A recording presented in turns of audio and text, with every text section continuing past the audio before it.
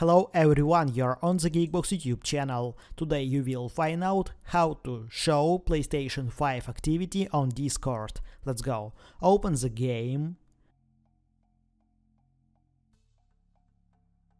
Open the Discord. Call a friend and see if the game activity is showing. If not, then open settings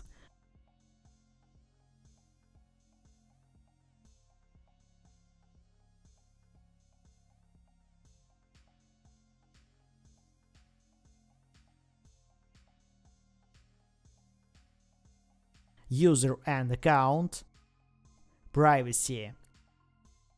Who can see your gaming history? Anyone.